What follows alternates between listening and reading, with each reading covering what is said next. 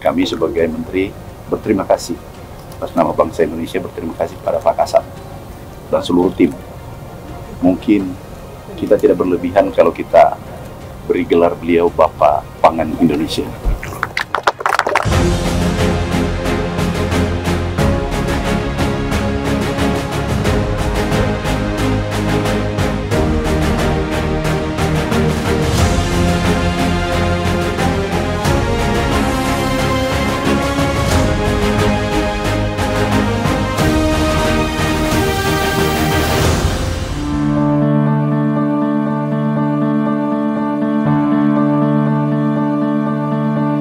Desa Mandrajaya, eh, kultur masyarakatnya sekitar 60-80 persen lah petani. Hampir semuanya sawah, tak ada hujan. Kita punya sungai, sungainya gede, namanya Sungai Celetuh Pak. Tapi karena kondisinya di bawah, terus kita eh, kondisi kita ini di atas Pak.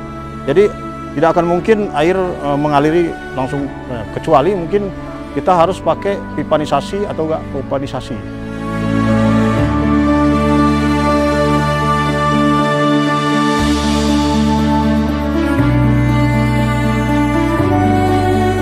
Dari lahan tidur seluas 980 hektar yang semula terbengkelai, TNI AD bersama masyarakat sekitar berhasil membuka dan mengelola lahan tersebut. Kolaborasi ini menghasilkan peningkatan produksi jagung dan singkong yang signifikan. Hasil panen mencapai 5 sampai dengan 6 ton per hektar untuk jagung dan 8-9 ton per hektar untuk singkong. Menunjukkan keberhasilan program ini dalam mendukung ketahanan pangan nasional.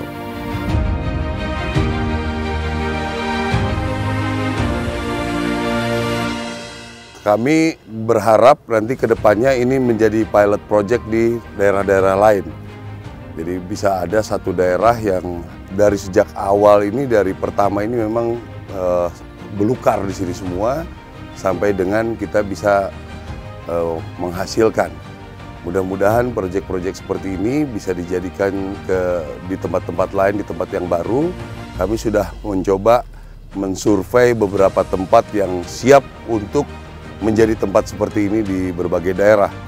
Ada yang di Cianjur, ada yang di Pandeglang, ada juga nanti daerah Jawa Tengah, Jawa Timur sampai ke NTT, bahkan di luar Pulau Jawa dan sekitarnya nantinya.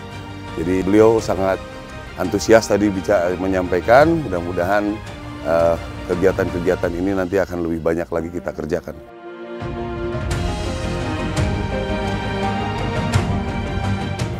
Ini Pak Kasat luar biasa secara personal. Sejak beliau dan Ren di Solo, beliau sudah sangat kreatif untuk membantu masyarakat khususnya air.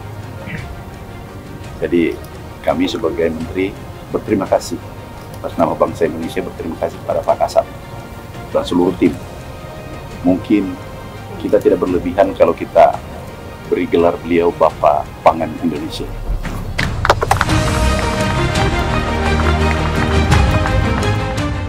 Ini bayangkan mulai pangkat kolonel sampai bintang 4 memikirkan rakyat, memikirkan kesejahteraan rakyat.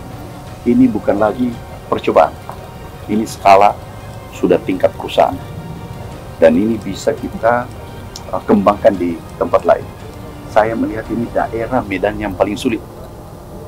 Belum pernah kami temukan orang yang biasanya kalau mau uji coba, uji cobanya di tempat yang rendah, mudah, dia aksesnya mudah dan seterusnya. Nah, ini di tempat yang paling sulit. Ini luar biasa. Kalau di tempat yang sulit ini bisa, apalagi di tempat yang lebih mudah. Insya Allah, pertanian akan support.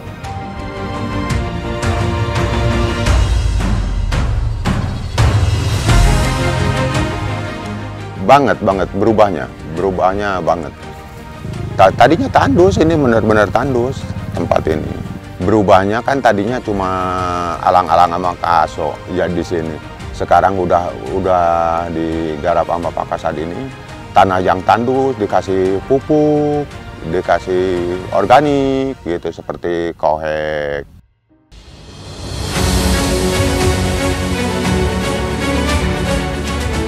Kalau sekarang perubahannya sangat signifikan sekali. Ada pabrik-pabrik ya, ada beberapa ada sekolah juga yang SMK ya yang saat ini lagi dibangun. Dan ini menjadi sebuah harapan bagi saya di mana saya merasa bahwa Neglasari ini SDM-nya masih sangat rendah. Mungkin dengan adanya program-program yang dibawa oleh Bapak Kasat ke sini uh, bisa membuat dampak yang sangat signifikan yang sangat lebih baik untuk meningkatkan kesejahteraan masyarakat di sini.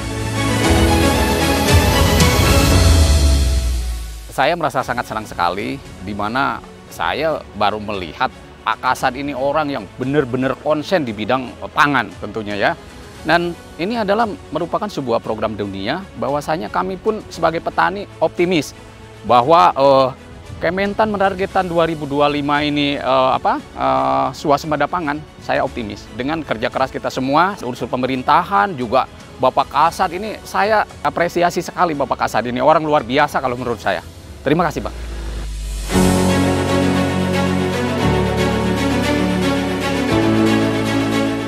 Intinya ini harus dikembangkan, kita harus lanjutkan, kita harus saling support. Apalagi munculnya ide Pak Kasat di saat negara membutuhkan, bahkan dunia, bukan Indonesia saja.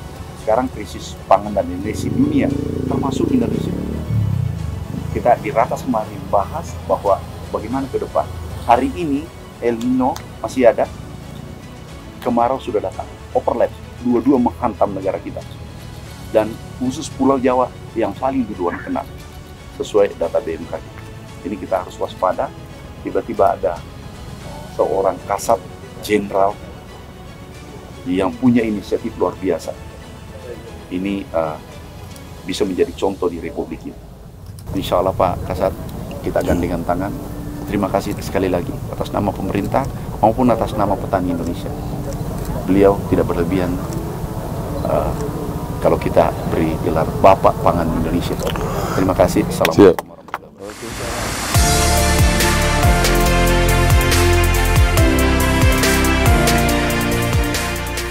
Kolaborasi TNI AD, pemerintah daerah dan masyarakat setempat menjadi kunci keberhasilan program ini, menjadikannya inspirasi bagi daerah lain dalam mengoptimalkan potensi pertanian untuk meningkatkan kesejahteraan dan ketahanan pangan.